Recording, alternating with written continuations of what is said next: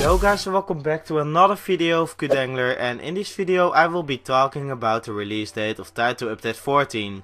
4J Studios just tweeted that lots of people are asking about Title Update 14 and that they are busy finalizing the content and bug fixing. A few weeks to go before it's ready for cert testing.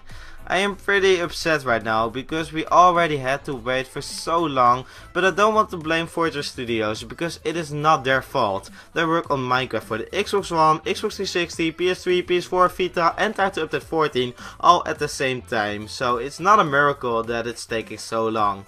We probably have to wait about 3 more weeks until it's in cert testing and once it's in cert testing it will probably take around uh, another 1 to 2 weeks if the update doesn't fail in the cert testing.